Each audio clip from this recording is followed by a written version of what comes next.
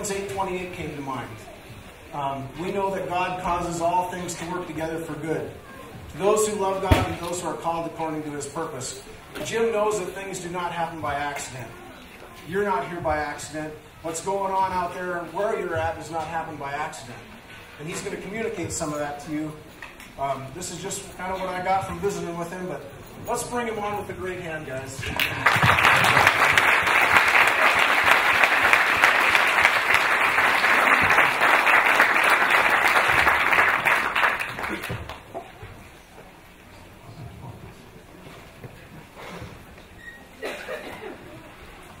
Don't you all give a shout out to Lancaster that are watching this? They're all over here.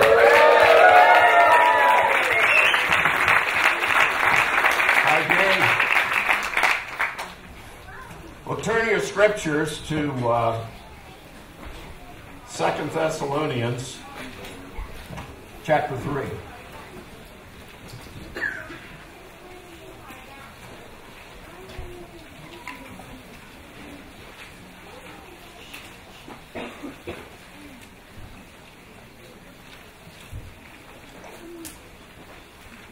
Pick it up in verse 6. Now we command you, brethren, in the name of our Lord Jesus Christ, that you keep away from every brother who leads an unruly life, and not according to the tradition which you received from us. For you yourselves know how you ought to follow our example because we did not act in an undisciplined manner among you. Nor did we eat anyone's bread without paying for it. But with labor and hardship we kept working night and day, so that we would not be a burden to any of you. Not because we did not have the right to this, but in order to offer ourselves as a model for you so that you would follow our example. For even when we were with you, we used to give you this order If anyone is not willing to work, then he is not to eat either. For we hear that some among you are leading an undisciplined life, doing no work at all, but acting like busybodies. Now, such persons we command and exhort in the Lord Jesus Christ to work in quiet fashion and eat their own bread. But as for you, brethren, do not grow weary of doing good. If anyone does not obey our instruction in this letter, take spatial note of that person and do not associate with him so that he will be put to shame. Yet do not regard him as an enemy, but admonish him as a brother. When Jay asked me to speak on this subject, a great subject. But you know, when we look at this, we have to do some deep thinking about it. First of all, this country, we live at, we have probably 97 million people, or 93 million people, I think it is, that's out of work. We have another 50 million people or more that's on food stamps. Now, I have a question for you. Is there anybody here that's hungry? You see anybody that's doesn't have enough food to eat?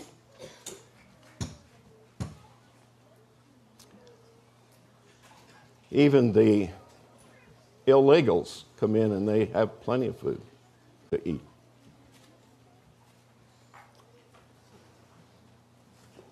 So what's this talking about? I don't doubt that there was people in that day that didn't work and they was expecting somebody else to feed them. We have the same thing today, but it's just somebody else that's feeding them. See, the government has become their God.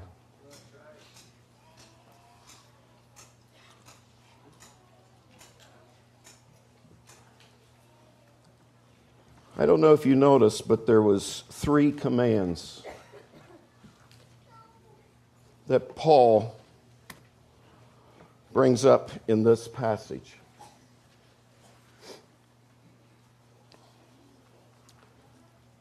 Since all scripture is inspired word of God, Jesus said, If you love me, you keep my commandments.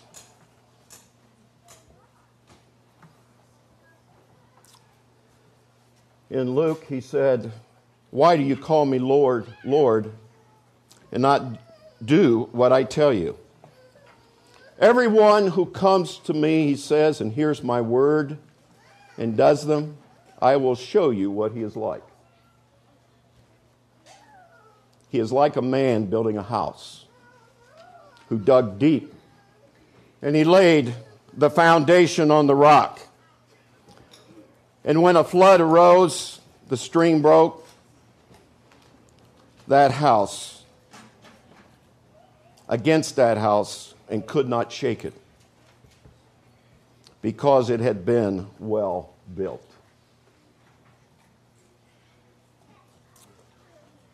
To dig deep and lay a foundation on the rock takes a lot of work, brethren.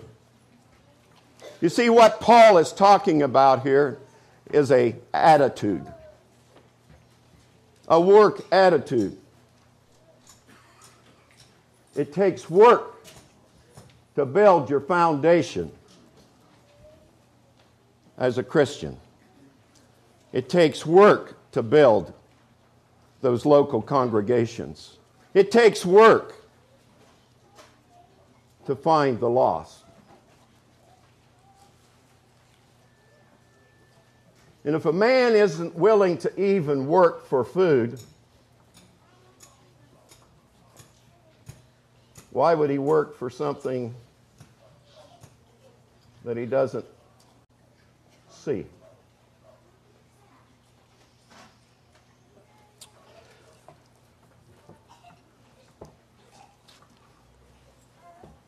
What does it mean to be unruly? What does it mean to be undisciplined? And when I read this passage of scriptures, what comes to my mind is people that are lazy and won't work.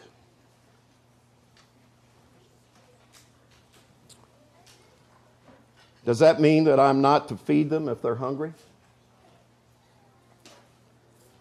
Does it really mean that I am supposed to have nothing to do with them and avoid them?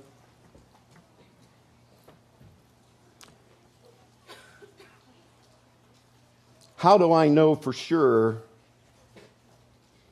that I, me, Jim Derry, is not one of them that are supposed to be avoided?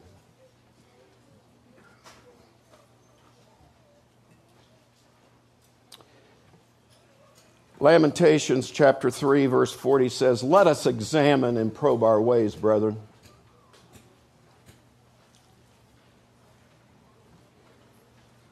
Let's go over to Romans chapter 2.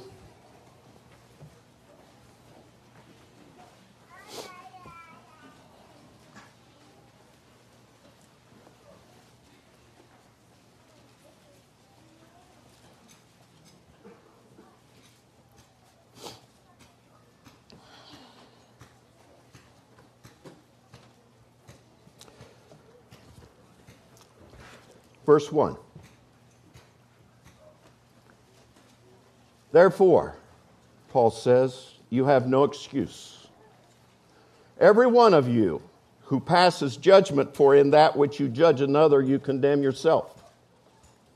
For you who judge practice the same things. And we know that the judgment of God rightly falls upon those who practice such things. But do you suppose this, O man, when you pass judgment on those who practice such things and do the same yourself, that you will escape the judgment of God? You see, I've got to make a judgment to be able to figure out who are these idle people. If I'm going to obey the command,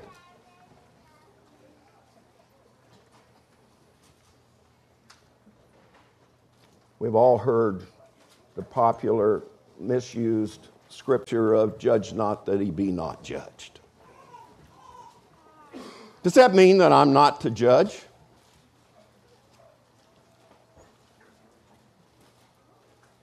I am to judge. I have to search. I have to pay close attention to what God tells me. I'm obligated to obey him if I love him. Let's go over to John chapter 15.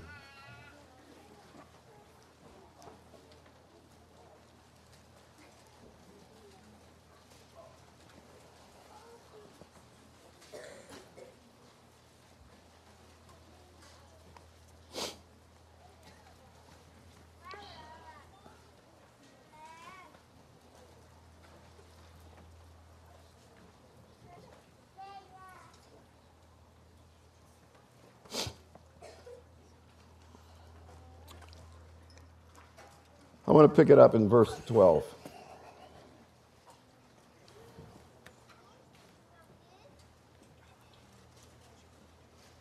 This is my commandment that you love one another, just as I have loved you. Greater love has no one than this, that one lay down his life for his friends. You are my friends if you do what I command you.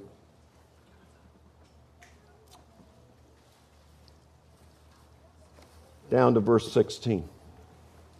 You did not choose me, but I chose you and appointed you that you would go and bear fruit, and that your fruit would remain, so that whatever you ask of the Father in my name, he may give to you. This I command you that you love one another.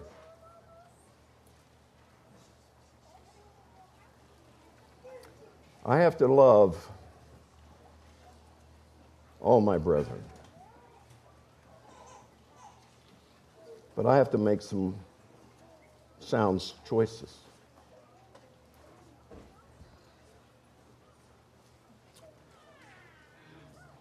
See, there's a higher calling.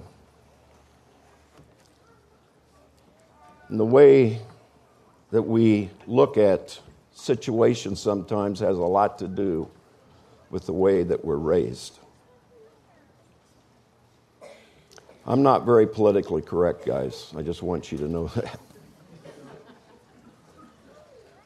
So I may say some things that will hurt your feelings. I hope not.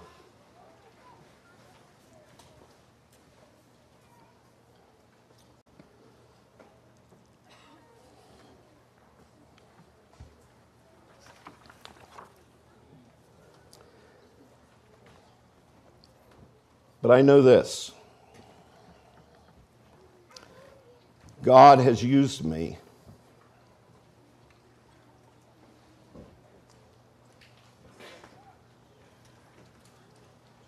And it had a lot to do with the way I was trained. I didn't know it.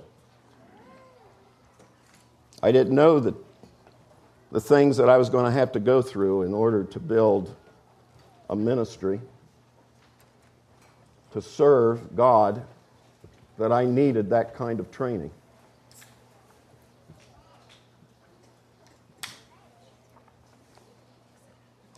As a matter of fact, the training that I had, I abhorred. I despised it when I was a kid. Now, I would have told you that my father hated me despised me. But being in the ministry and examining and probing my ways, and looking at the path that I have taken, that I've been led on. I didn't, I didn't plan it. I never planned it. Doors opened, opportunities appeared, prayers were answered people were put in my path.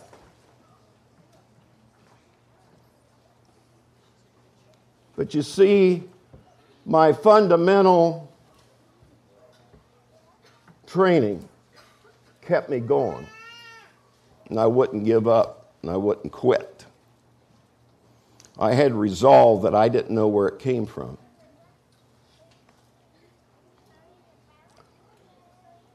I was raised on a farm.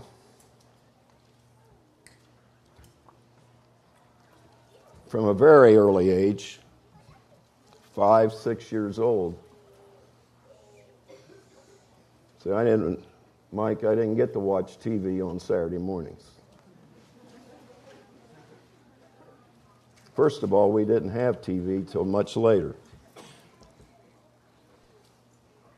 And it was a box bigger than this that had a little TV thing on it like that, and, you, and it had so much snow, all you could see was the snow on it.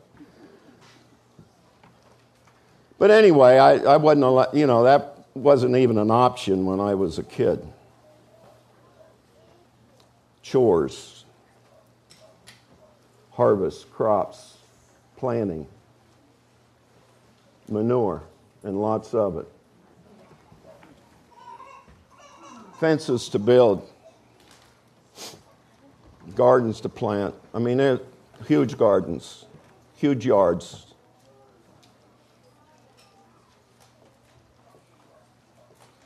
the age of six, riding a horse to the hay fort. And I didn't, at, a, at the age of six, it's from the time that the sun comes up till the sun went down. Seven, eight, nine.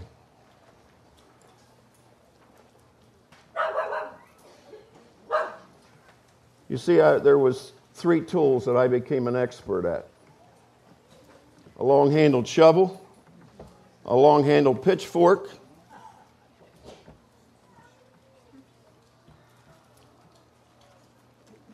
and there was, there, was a, there was a fourth one an axe and a sledgehammer. We had to break our coal up. We didn't have modern stuff. We carried our water. Always stuff to do from the time that I was a little boy.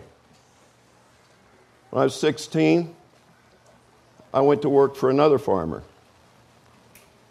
And I had no idea. You know, I was glad to get away. I, I never got paid for any of that stuff that I was doing, see. No, we had some questions asked at our assembly about paying uh, kids for the work they do, allowances. Somebody said they gave their kid $35 allowance or something. They received it a week. Wow. I worked anywhere from, at the age of 16, I worked anywhere from 60 to 84 hours a week, six days a week, for $30 all summer long and was glad of it. I only tell you this, I'm not bragging about that at all, believe me, because I, when I was 16, though, I, I didn't mind work. But my dad drove me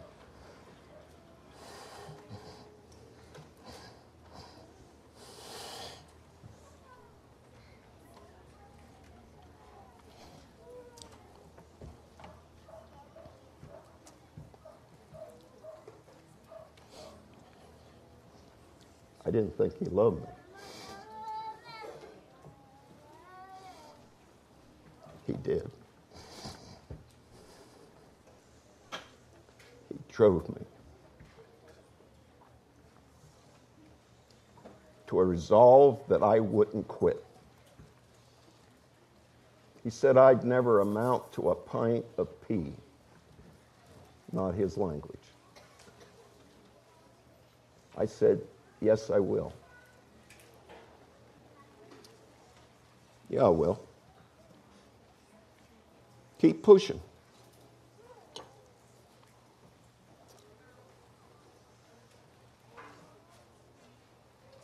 He drove me to, I made, a, I made an internal decision that I would amount to something more than a pint of pee.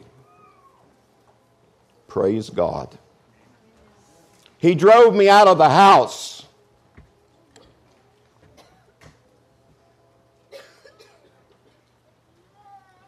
And I went to live with my grandfather and grandmother who was gone to the Church of Christ.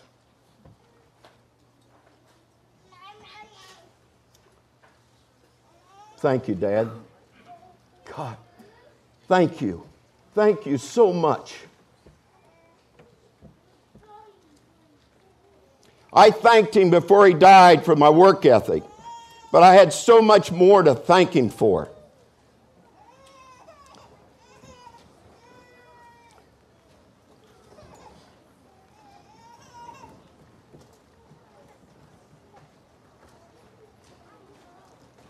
There's an assembly in Ohio that probably wouldn't have got started unless I had gone to that Church of Christ that led me eventually to Baldwin Mountain in Virginia. When I met Jay Wilson for the first time, changed my entire life.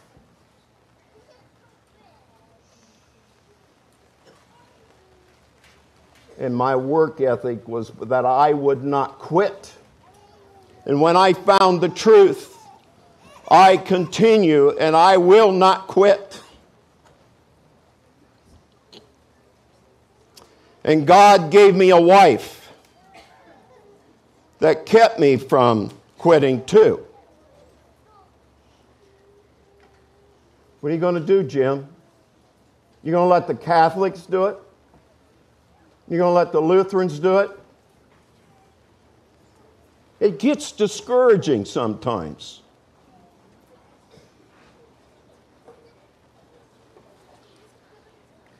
God has blessed me so much, and I deserve none of it.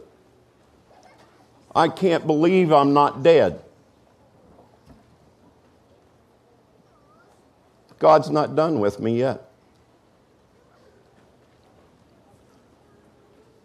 Work, work, work. Late night Bible studies. We broke ground for our church building after in 09. So we were about eight years old, I guess, at that point. We'd been in our house in another building. First day, we break ground. I got a guy shooting at me with a shotgun. I'm not quitting. He shot at me twice.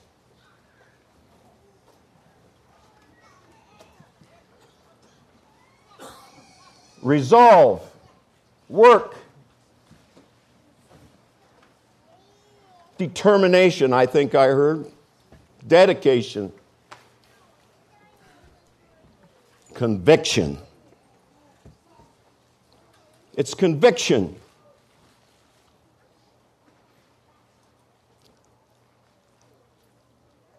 I'm not afraid to die. We just had a great victory in our assembly.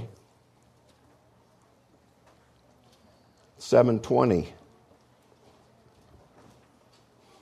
this morning. Eastern Time, 5:20 here. One of the guys that uh, Jim Cox. I, this is a great story, but I really don't have time probably to tell you about the whole story.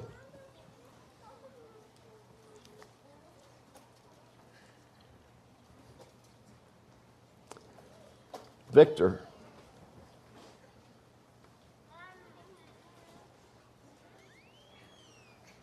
Victor was uh, an addict.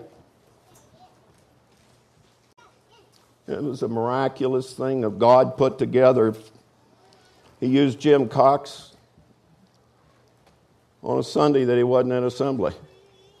The only reason he wasn't there was because his wife was sick.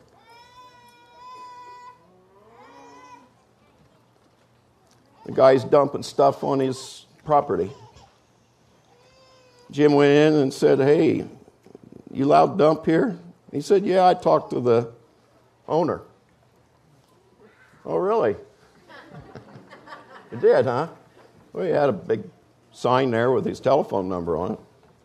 Jim never got the call. So, again, made a long story short, it was this guy's, Victor's brother. And he said his brother was in the hospital dying. Jim said, Well, is he saved? The guy said, Well, I don't know. He said, Well, is he immersed? Well, I don't know. Again, long story short, Jim went up. He said, Well, can we go up and talk to him? He says, Well, let me talk to him first. So Jim called me. Pam and I are out, going on, on our way out of town. We're almost there. So he told me the story. The guy's dying, but they're sending him home to die. And he was going up to see him the next day. He did. The guy won Bible study. He couldn't believe that somebody was coming up and talking to him about baptism. Again, he was raised Catholic. He was in a it, he was a member of World Harvest Church. Thought he was saved. He was, yeah, everything they told him, he was going to heaven. He was ready to die. They all just go home and die.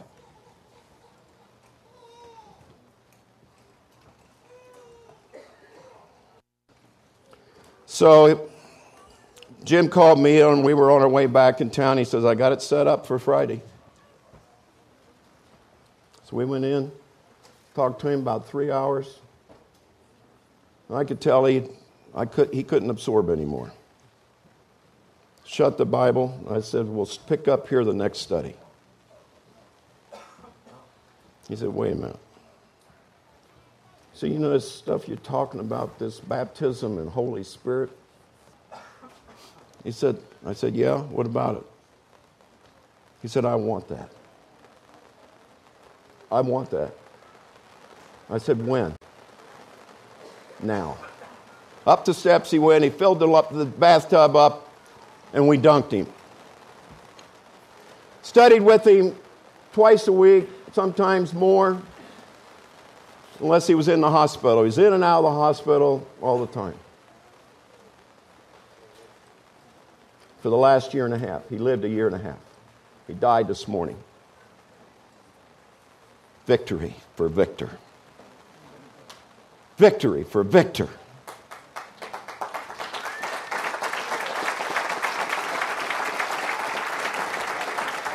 But it took a lot of stamina. It took, it took a lot of work ethic to stay with him.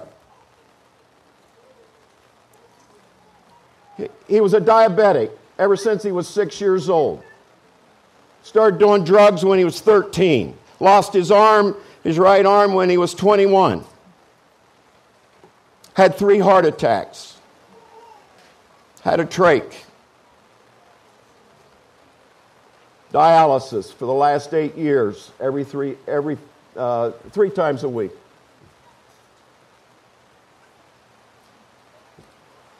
On oxygen a lot. And I wish I could show you the picture that I've got of him at his Bible study at his house. He got the greatest smile you'd ever see. You wouldn't know. I mean, just a great smile. But I guarantee you right now, he's smiling big. How many people would have stayed with him, see? And his brother wanted to get rid of him. He wanted to get rid of him long time ago. He wanted to, you know, euthanasia is what we already heard here. Yeah, I had to fight that all three times. But finally, this just this past weekend, I succumbed. He was ready. God wasn't ready, wasn't through with him yet. You might say, what's that got to do with our lesson? Work ethic. There's a lot here. But I want you to take a look at something else that I want to tie in. I'm going to go over to the um, New English, or the, the English Standard Version. I'm going to pick it up in, in verse 6. I'm going to read verse 6 and 7. It says, Now we command you, brothers, in the name of our Lord Jesus Christ, that you keep away from any brother who is walking in idleness. Idleness. And not in accord with the tradition that you receive from us. For you yourselves know how you ought to imitate us, because we were not idle when we were with you.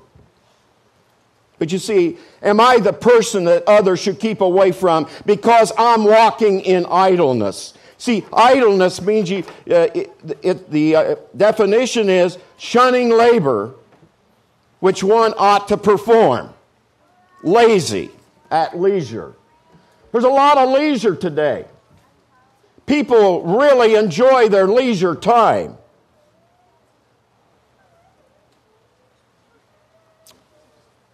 And every one of us has to ask Am I idle too long in the church? Am I the guy that maybe should be avoided? I have to ask myself that and be truthful. Verse 11 and 12. For we hear that some among you walk in idleness, not busy at work, but busy bodies.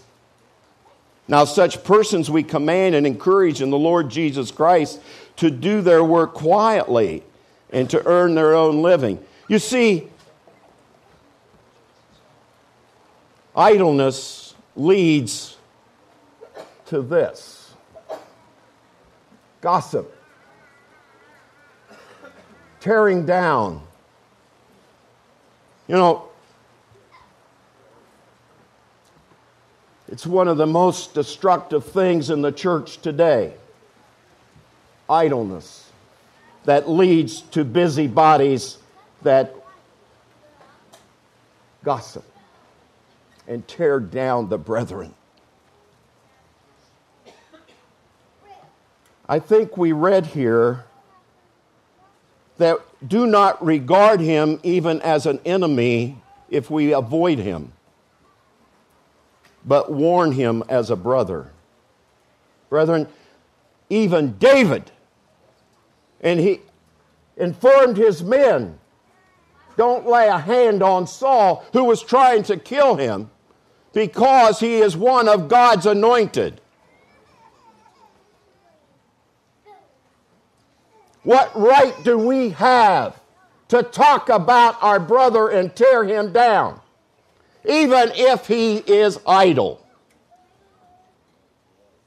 Are we to avoid him? Yes, because he is it is a command. He says so. But I've got to be careful that my own idleness is not a big two by four in my eye, and his idleness could just be a stick. Self examination is extremely important.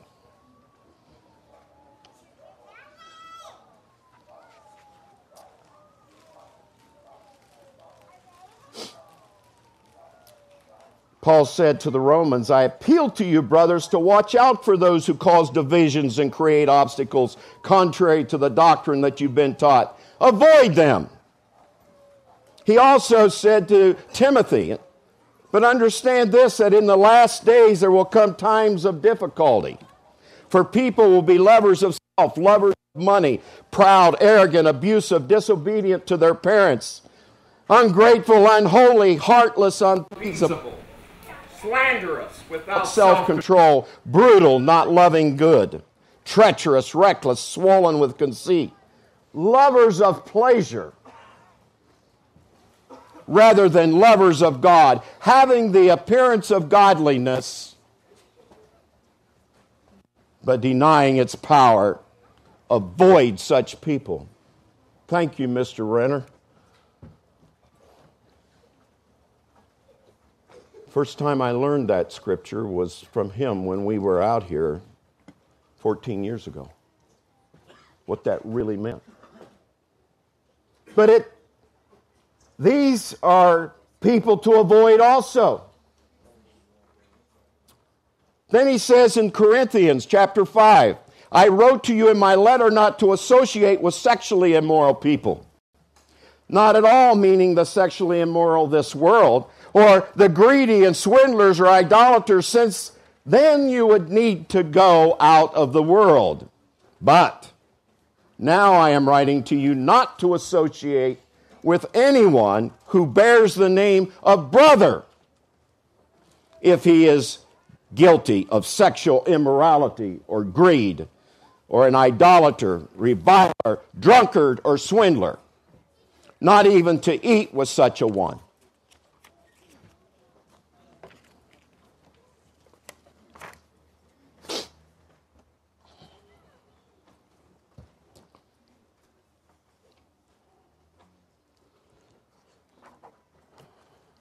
And I guarantee you, laziness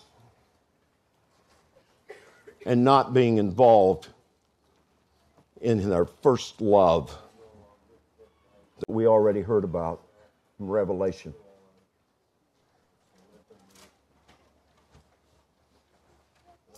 Where is the first love for the lost?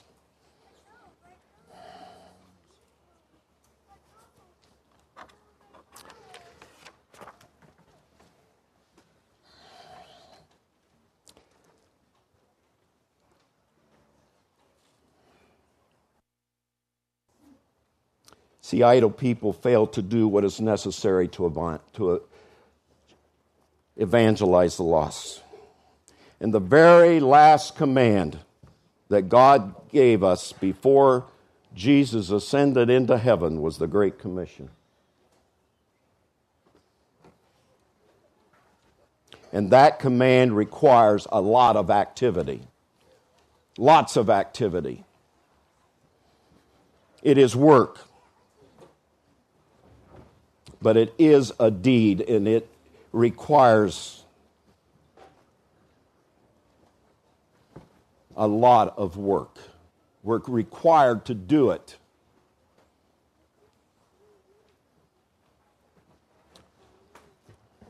But our pleasures and many other things, our lack of work ethics, I'm going to say one more thing on this and then I'm going to close. Because I have a close that I want to edify you with, brethren. But I want to say this. Parents, this probably isn't politically correct.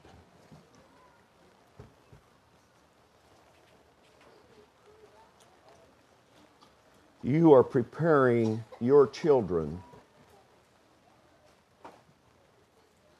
not to work for food, but a food that is much greater than that.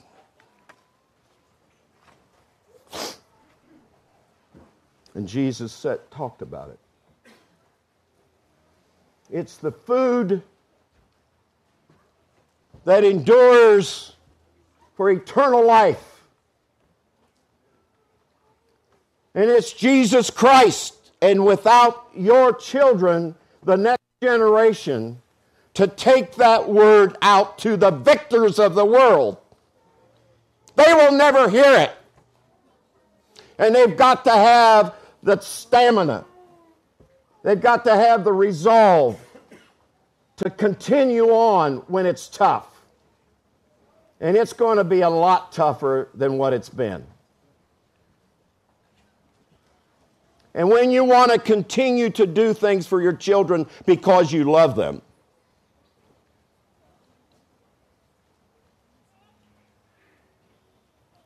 you want to, you want to make it easy for them, you're not really teaching them to have a good work ethic necessarily. And I'm not saying everybody. Some may work out. But I've seen it in the church. I see how children are raised, and I see the work ethic that follows.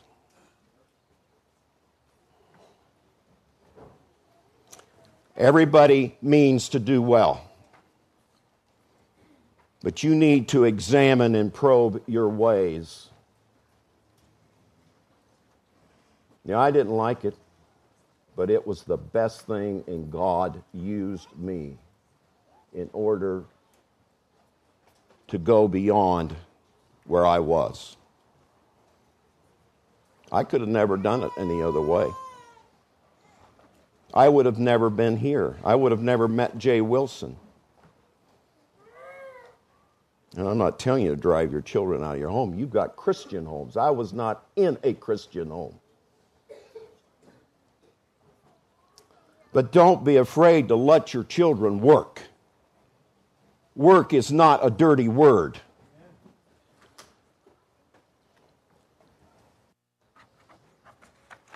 But you know what? Practicing righteousness I already heard that term righteousness.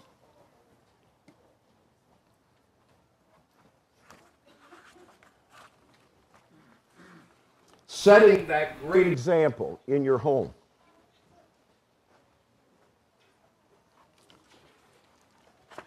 Practicing righteousness means being at assembly with the saints. They're your brothers and sisters. They are the anointed. Oh, how special you are, brethren. How special every single one of you are. Even the least of you is greater than John the Baptist. And I pray that I never have to avoid any of you. And I want to close my message by building you up. And I want to edify you right now. I want to tell you how special you really are. Because your spirits were dead in your trespasses. But your human spirit has been made alive perfect because of righteousness. You've received mercy. You've been redeemed. By grace, you've been saved through faith, raised up and seated with Christ in heavenly places. You've been born again of the water and the Spirit. And your sins were forgiven you. And you've got a clean conscience. You've been justified and glorified. You are sanctified by faith in Jesus. And you've been raised up to walk in the newness of life. How wonderful you are. You've been delivered from the domain of darkness. And you've been transferred into the awesome kingdom of Jesus Christ. You've been anointed kings and a royal priesthood. You are the assembly of the firstborn who are enrolled in heaven. You've come to Mount Zion. You are the New Jerusalem. Your body is the temple of God, and the Holy Spirit dwells in you. You are heirs of God and fellow heirs with Christ to inherit eternal life. You have not received a spirit of timidity, but a spirit of power. You have not received a spirit of slavery leading to fear again, but you've received the spirit of adoption as sons and children of God. You are a new creation. And you have Christ in you, the hope of glory. You are the salt of the earth and the light of the world. You are his workmanship created in Christ Jesus for good works. Good works. And you can do all things through Christ who strengthens you. So, brethren, so make disciples and go snatch someone out of the fire and teach them to do the very same thing. Thank you. Amen.